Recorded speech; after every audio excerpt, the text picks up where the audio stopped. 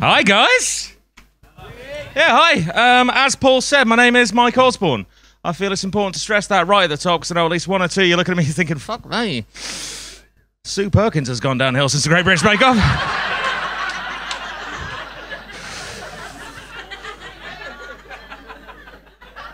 It's all right, buddy. I know what I look like. I know what I look like. I've seen my face before. I look more like Wolverine got a job at the Copacabana. I mean, what the fuck? Even me. Even my fucking shirt. Um, it's good to be here tonight. It's good to be here. I fucking love doing comedy, man. Love doing comedy, cause uh, I don't, I don't like real work. How you people do it. I had a real job once, right? And um, I came in after the weekend. This woman I work with, she's like, you know what, Mike? If won lottery, still come into work. Because I love it. I love the people. Fuck off, Janice. Won five pound on a scratch card. Never went back. Fuck 'em. Fuck 'em. It's good doing comedy though, man. It's good doing comedy because you get to do some things that um, you don't ordinarily, ordinarily get to do, like travel. I think travel's really important, right? Because before you've been to a place, you've got quite a flat two-dimensional view in your mind, and then you go there, it becomes more realised. You might re- you might learn some things you didn't know about the place before. Happened to me recently. Went to Blackpool. I knew two things about Blackpool before I went. I knew one, they've got the illuminations. I knew two, it's a bit shit, innit? I went to Blackpool, you guys. And I was wrong. They do not always have the illuminations. no, they turn that shit off during the day. For anyone who hasn't been, Blackpool looks like the sort of place where they're just going to have one last big hurrah and then board everything up and just fuck off forever. you get the chance, go. It's lovely. Oh, that's good though. It's good. Um, I like arguing. Big fan of arguing because I'm quite good at it. Really. I mean.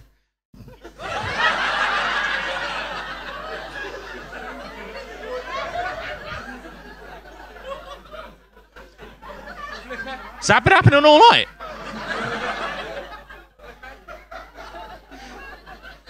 Benny, I think a pipe's gone, mate.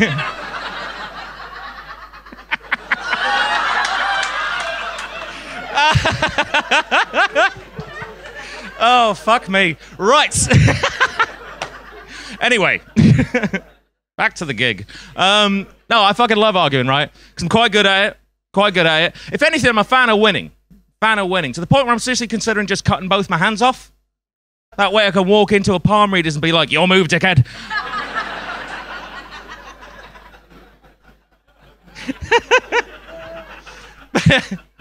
But I, I, I, I met a person that I couldn't use my usual tools of logic and reason on, right, in my arguing. You might know them as conspiracy theorists. I know them as mad, crazy bastards. Um, I was speaking to a guy. I don't know if you've any of you have met a person like this. I was speaking to a guy who honestly believed that the Earth was flat.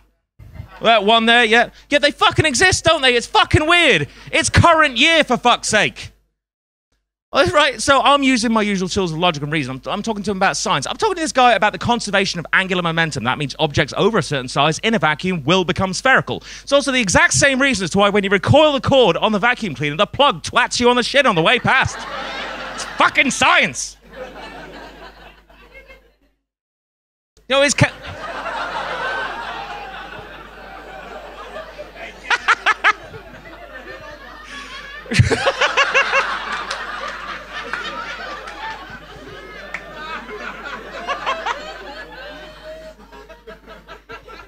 Do you need help?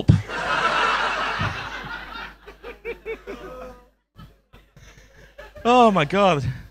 It wasn't you, was it? Right, I'm t-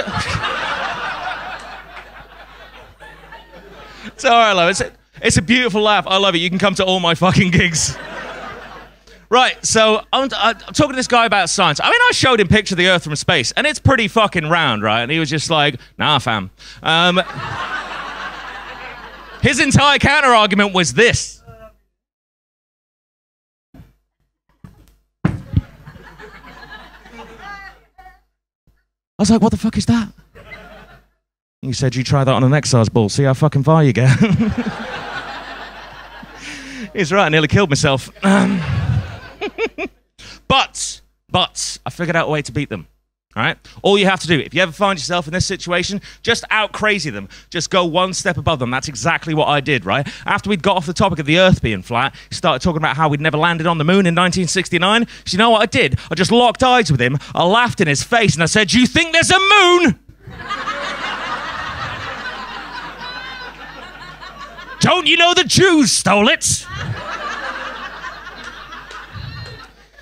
Taxi drivers are dickheads anyway.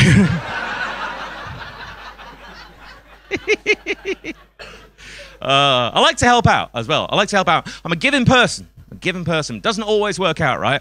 I was walking through town earlier today. This guy stopped me in the street. He's a bit of a rough looking guy. He stopped me and said to me, Big issue, please. I felt fucking awful, man, because I did not have a copy to give him.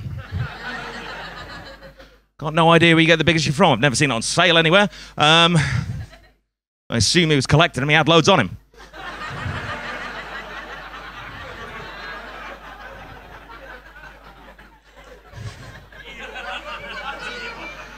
So I thought, you know what? I'll, I'll do what I can. I offered him my copy of Ideal Home magazine. Clearly not a fan because he punched me in the throat and stole my wallet.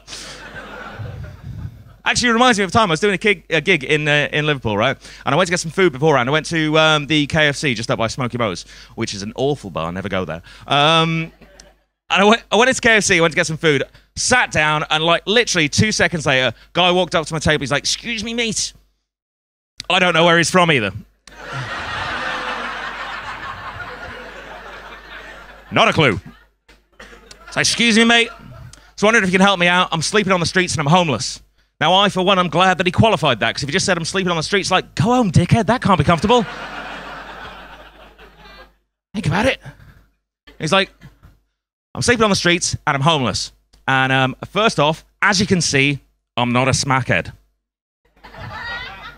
I love that. I think all sales pitches should start that way. So, you know, you get a call at the house. It's like, good afternoon. Is that Mrs. Brown? Mrs. Brown, it's Derek from Eon. And first off, I'm not a smackhead. it's just good to know who you're dealing with. But um, he's like, I'm sleeping on the streets. I'm homeless. As you can see, I'm not a smackhead. I was just wondering if you can put some put some change in my hand. Just trying to get some chips. I said, Look, mate, I'm really sorry. I've just spent that. Well, I didn't do that. You would have heard me change.